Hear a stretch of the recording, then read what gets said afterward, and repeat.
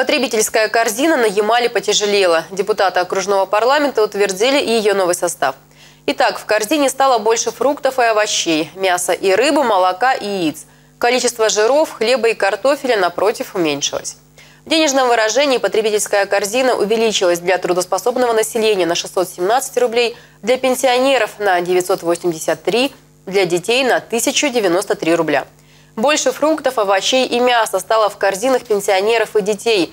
Для юных ямальцев количество фруктов увеличили почти на 74 килограмма. Теперь норма составляет чуть больше 125 килограммов в год.